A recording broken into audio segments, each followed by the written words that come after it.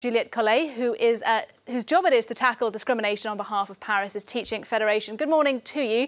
Thanks very much Hi. for coming in. Thank you so much for having me. You've been working then to try and find ways to combat racism in schools. Tell us first of all what works and perhaps what doesn't work. Um, I think what works is uh, when you also um, uh, tackle racism and anti-Semitism um, with educators and teachers and uh, like youth uh, facilitators, like we do in our uh, association and organization, um, because it's. I think it's useless to tackle the problem only with kids only because uh, there is no kid uh, who's born uh, racist or uh, anti-Semitic or um, anything else. So um, what we are trying to do is um, is working on the source of the problem, to say so, um, and I think also that what works with kids is to um, continue to deconstruct stereotypes and also to listen to them, to believe them, to uh, take them into account. Um, always um, taking care of uh, kids that have been abused sometimes, um, and never, never doubt their words because they are not uh, making up anything. Yeah, and as you say, of course, children aren't born racist, they're not born uh, anti Semitic. But this is a bit of a thorny issue, isn't it? Because are you then trying to tackle problems with parents perhaps being racist? How do you deal with that? Well, that's a problem. Um, and I think educators and teachers are not paid well enough to uh, educate both kids and parents. And um, I mean, not all parents are racist, of course, that's not what I'm trying to say. But um, I don't think that's a very good idea to um, um, directly uh, talk about racism with parents um, because then it can create kind of uh, confusion and uh, maybe um, parents rejecting school uh, because they are thinking and feeling maybe that school is trying to uh, double cross them in education. Um, so I think we need to, uh, I mean, we educators need to uh, uh, focus on the, on, the, on the children and also on the, on the whole system.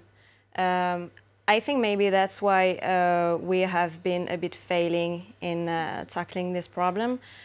I think we need to um, stop uh, pointing out uh, this one is racist or uh, this uh, group of people are uh, is racist. I think we need to um, uh, take the problem in its globality. So, and we need to do that. We need to um, take a deep look into ourselves as French people, as educators, as um, people representing the government and working for the government, uh, because there is much discrimination here. Uh, so maybe that's something we didn't do, and we thought, okay, uh, everyone knows that now that racism is a bad thing. Uh, same with anti-Semitism, so it's okay. We don't need to work on it uh, anymore, or maybe just with the kids. Uh, but I think it starts with deconstructing our own stereotypes and, and biases, uh, which can be racist, and we don't even know it sometimes. Indeed, and we have seen, obviously, in France in the past couple of months, particularly uh, virulent examples of anti Semitism um, in public uh, on the fringes of yellow vest protests, um, for example. Um, have you, has your organisation noticed that uh, racism is getting worse uh, in schools uh, kind of separately to that, or is there, do you think, not much link? Um, well, it's difficult for us to um, say some, something about it because we are not working as an uh, observatory, so we do not have uh, figures or statistics.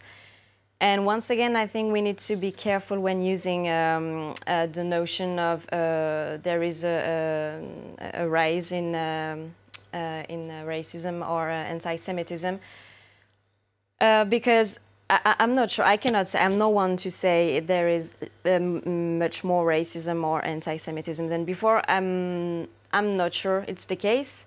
Uh, we need to fight uh, this all the time, and we need to talk about it. But as I said, I think we also need to um, take the problem uh, in a much more global way. Yeah. Um, so yeah.